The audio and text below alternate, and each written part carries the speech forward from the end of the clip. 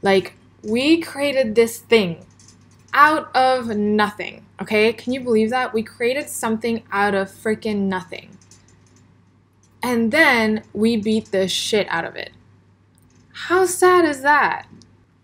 Hey guys, welcome back to my channel. Welcome to another video. Um, I'm just to put some stuff in the intro, but I'll be quick. Okay, if anything that I said to you in this episode is resonating with you, I really suggest, you know, getting on a call with me because if something resonated here, imagine what could happen on a phone call where you get personalized um, feedback. And then another thing is that I'm doing a procrastination challenge or I'm hosting one and it's starting on November 1st at 6 p.m. Just wanted to remind you it's a mindset challenge and it's going to really help get to the bottom of why we're procrastinating and give you some ideas on how to stop it permanently. Okay, that's it. I just know that nobody listens to the outro, so I wanted to put it in the intro. Okay, so today, I really want to talk about how you may be suffocating your art. Like, perhaps you're experiencing a lot of art block lately, or just nothing you're creating seems to be how you like it. It's just not coming out the way you want. You're just hating everything you make. You're totally frustrated and feeling really stuck with your art. I was experiencing this a lot before the big quit of I think 2016 where I know I made an announcement on YouTube that I was going to stop creating videos and then I essentially stopped doing art and stuff for a while and I was really around that time like really really questioning about my love for art. Like maybe it really wasn't for me and I really started to consider like just art as not being my career anymore. It was just not what I was gonna do. And I, I was fully open to other things. I wanted to give myself like a year or something to explore other things. So yeah, so it was like a lot of art block, a lot of frustration. And here's why you may be feeling that way. Um, okay, so this might seem like a totally weird turn, but just stick with me. I have a point, and I'm going to tie it back to art. So I want you to think about a very domineering, overprotective parent. There's different names for this kind of parenting. Um, in Asian culture, I think it's called tiger parenting. And then in Western culture, it's like helicopter parenting or the stage mother type of parenting, where it's a parent that really, really wants to control every aspect of their children's lives, right? Like they hover like a helicopter around their children and they, you know, totally control their schedules, decide when and where they eat, what they do, how much they practice, and they have like these super high expectations for excellent and excellence and they're very very demanding on their children, right? Like so many lessons like there's music math you know singing or like in the stage mother um, example it's like you know dance and then very competitive and just you know they want to do everything in their power to make sure that their children succeed in whatever thing that they're kind of going for. Um, so this kind of parenting right this it's most probably brought out some like real top performers of children into adulthood. But you're probably not surprised when you hear that like many if not most are left with a lot of emotional issues, right? Like a lot of low self-esteem, like uh, undeniable anxiety, unable to take care of themselves, just less self-reliant and not very like independent thinkers, right? And just a lot of psychological issues. And even if they are top performers, they could still have emotional issues, right? Because success does not equal happiness. Like that's been de- debunked long ago because there's so many, so many freaking, um, you know, uh, scientific studies. They've done studies where success, like especially like societal standards of success, right? Like fame and money, essentially. It does not ever correlate with happiness So these children of these parents are like jumping through rings of fire, you know, like these crazy obstacle courses essentially for their parents' approval. But often it's never enough, right? Like, yes, they might win some competition, they might get a good grade, they might do something amazing, but it's like what's what's next, right? Like they got to keep topping it. And often they're also not allowed to pursue their own interests because yeah, some things are just considered not worthy and not respectable.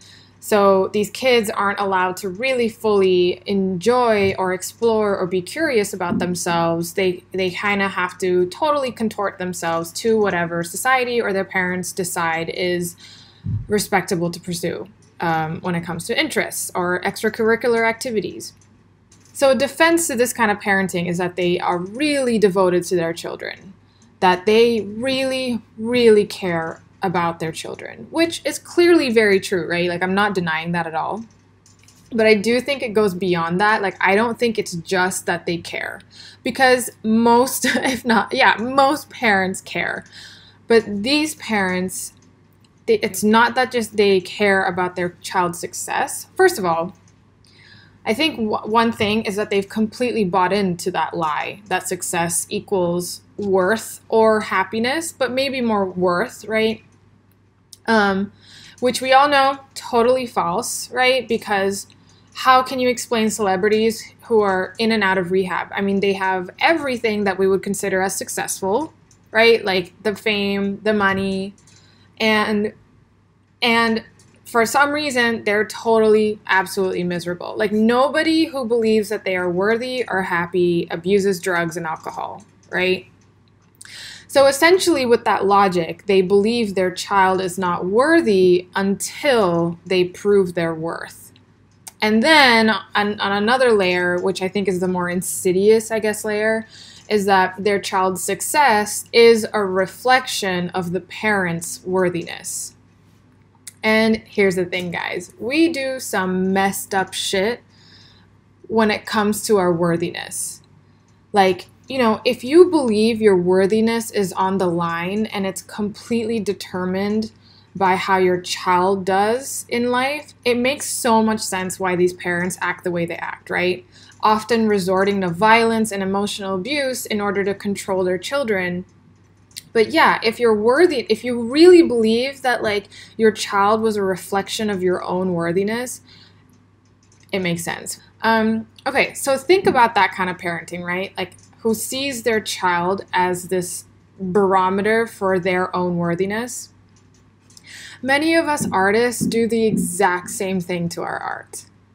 Like, we created this thing out of nothing, okay? Can you believe that? We created something out of freaking nothing. And then we beat the shit out of it. How sad is that? Right? Like, or, or if we don't beat the shit out of it because it's this inanimate object, then we beat the shit out of ourselves. Like we beat the shit out of the creator. Um, and then there are some things that like we're so curious and dying to create, but we stifle it because of what other people might think. Right? Because we don't think it's going to get a lot of likes or we don't think that it's going to be popular or we think that it's like it's like not respectable enough, right? Like it's not real art. So then we just stifle that because we are so afraid of what other people think. And, you know, if we're afraid about what other people think, like if there's something we're afraid of, it means that we believe it in some way about ourselves. It means that we think it in the first place. We just don't want confirmation. So, um, let's, I really want to ask this question to you, or at least I want to pose this question to you. Would you rather love your work or be successful? Like, really think about it. Would you rather choose to feel loving towards your work or dislike your work but be successful by society standards, right? In the sense that you have money and you have followers or something like that, where then you kind of have the fame. So, really answer that, right? Okay, would you rather love your work or be successful? And if you'd rather dislike your work and gain success, why? Like, why would you decide to not like your work? Why why is success above that? Like if we thought about a parent, right, who doesn't love their children until they prove to them that they are worthy of love, most of us would think that's terrible, horrible, abusive parenting, right? Or that's just like really, that's a really crappy, like, parenting relationship, child parent relationship. And clearly, it's the it's the parents' inability to love their children, right? Who's at fault? Like it's the parents' fault for not being able to love their child. It's not the child's fault, right? Like it's completely on the parent. So then why would we do that to our own work? Like we, we look at our work, the ones that we don't think are, you know, don't look as good, and then we deem the work as being the problem, right? Like oh, this is not good work. I don't like what I drew. And so I don't love my work. And, again, we're blaming the artwork that we created for our lack of ability to love it. When really, it's not the work's fault, right? It's, it's the way we choose to think about our work. And so, anyway, what I'm trying to say is like, um, I think we should love our work no matter what it looks like. And, you know, obviously the solution to helicopter parenting isn't then to go the complete extreme opposite where we coddle children and leave them totally unsupervised and they get to do whatever the hell they want. Like, you know, we can love children. I'm, I'm not a parent, but um, I think I can relate in a way where, you know, we can love children, right? We can we can show love, but at the same time still teach manners, right? still have rules, still have expectations. So it's the same thing. We can love our work and stand strong in our own worthiness, right? Like we don't expect our work to define our worthiness. And then we can still criticize our work and still improve our work from a place of love. And actually, that's where we most likely are going to make improvements. So essentially, what I'm trying to say is like, you know, a lot of us really are totally looking at our work for, and we're totally dependent on our work for our worthiness. And then no wonder so many of us feel like we want to quit, like we're not having fun anymore, and we feel totally stuck and suffocated. But it's because we're suffocating our own art when we are totally dependent on it. Like, we should we I think we should just love it. Right? Like no matter what. No matter what cuz we created something out of nothing. So I really want to offer that to you that to love your work no matter what. Even if there's some things about it that you don't like, that's fine, right? And you can improve, you can learn from it. Um, but to not be dependent on it for your worth, for your worthiness. Because you're already worthy no matter what. You just get you just have to decide that. Okay, guys.